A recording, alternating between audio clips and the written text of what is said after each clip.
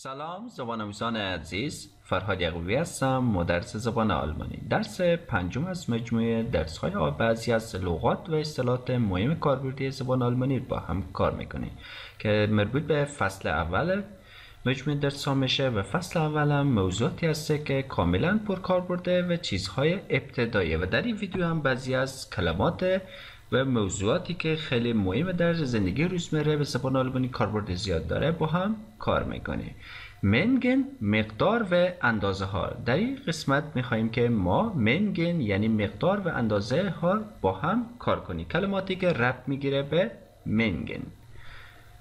Ein wenig. Ein wenig یعنی کمی. اندکی یک کم. Ein wenig. Ein wenig. کمی اندکی یا یک کم. عین منگه. عین منگه. زیاد بسیار زیاد یا خیلی. پس ببینیم تقریبا میشه گفت متضاد همند. این ونیش کمی اندکی یک کم. عین منگه. زیاد بسیار زیاد خیلی که استفاده زیادی داره در تکست های زبان آلمانی. عین منگه. wenige einige wenige به معنای چند تا چند تایی کم اما einige یعنی که چند تا یا چند wenige einige wenige einige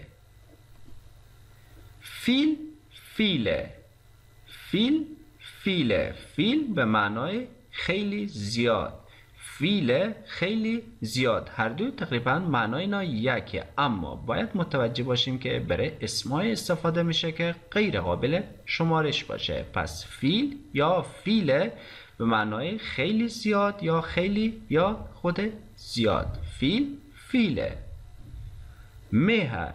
مهر یعنی که به معنای بیشتر. اما همراه حرف اضافه هالز که از جمله حروف اضافه نومیناتیو ساز استفاده میشه که به معنای هالز به معنای از یعنی میر هالز یعنی بیشتر از بیشتر از. میر هالز بیشتر از. یا weniger کمتر weniger als کمتر از. weniger. genug.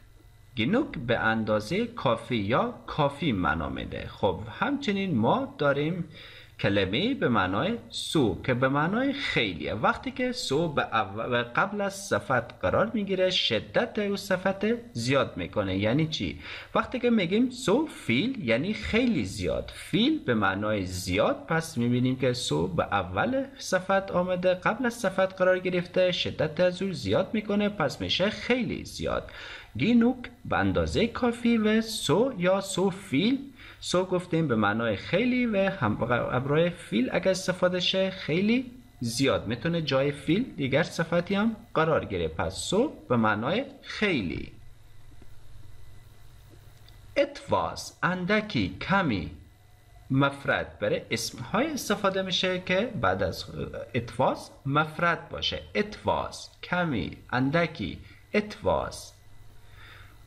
نیگه. اندکی کمی. هر دو به یک معنای اتواز و نیگه. اما باید متوجه باشیم که اتواز مفرده و اینیگه شکل جمعه. اینیگه اندکی کمی شکل جمع استفاده میشه. و داریم ما weitere nützliche Wörter چند واژه سودمند دیگرند که اینها ربط نمی‌گیره به مینگین یعنی که اندازه و مقدار اما کلماتی هست که کاربرد زیاده داره. اولین کلمه هست ان و بای. ان در معنا میده کنار معنا میده و bei نزدیک یا پیش. خب ببینیم که an oder bei. an یا bei. an در کنار دو معنا داره و همچنین bei نزدیک یا پیش که اینها حروفی هستند که Akkusativ ساز Dativ ساز و همچنین حروفی هستند که Nominativ سازن پس اینها اگر شما با مشکل داشتین گرامر از اینها به کانال هست. قبلا درس داده شده می‌تونیم از اونجی مشکل خود حل کنیم. an در کنار و bei نزدیک یا پیش معنا میده. و همچنین ببینیم که این از جمله حروف an و auf از جمله حروف Wechselpräpositionen یعنی حروف متغیره که بره جا و مکان و اینها استفاده میشه. پس an چسبیده به و auf روی. an چسبیده به auf روی. ان اوف. این در توی توی یا داخل این به معنای در یا تو یا توی. چیزی که داخل برای داخل استفاده شه از حرف اضافه این استفاده میشه. سو به سوی به به پیش نزد سو به سوی به پیش نزد انواع معنای زیادی داره. هر کدوم نظر به جمله فهمیده میشه که استفاده از در چی موقع از کدو استفاده میشه؟ اما معنای از اینها همه تقریبا با هم نزدیک مشابهه سو به سوی به پیش نزد. weitere nützliche Wörter nach بعد از پس از. nach بعد از پس از. vor پیش پیش از یا قبل از. vor و nach. اینها حروف اضافی هستند که همراه ساعت استفاده زیادی دارم. nach بعد از پس از و vor پیش از قبل از. für برای در عوض بیشتر استفاده für به معنای برای است. که für برای در عوض و از جمله حروف اضافه Akkusativ ساز هم است. für برای در عوض.